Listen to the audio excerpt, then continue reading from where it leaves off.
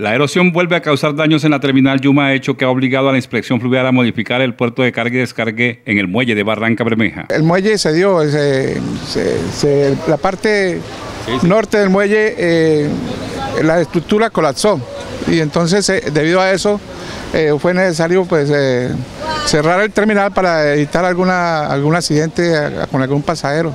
La situación registrada afecta el normal tráfico fluvial del puerto petrolero, hecho que ya está siendo atendido por funcionarios de Cor Magdalena. Cor Magdalena mm, se apresionó del, asunto y entonces se determinó que se debería reubicar la boya en otro lugar para evitar precisamente algún peligro con, algún usuario o pasajero. Entonces por eso se habilitó este, este lugar acá en la parte digamos sur del, muelle del muelle terminal Jugal Yuma y para el cual eh, pues, eh, eh, los pasajeros pueden hacer fácilmente por, por la, entrada del, terminal, a un costado del terminal. Se espera una pronta y definitiva intervención oficial para evitar que la erosión siga afectando la terminal fluvial de este puerto petrolero.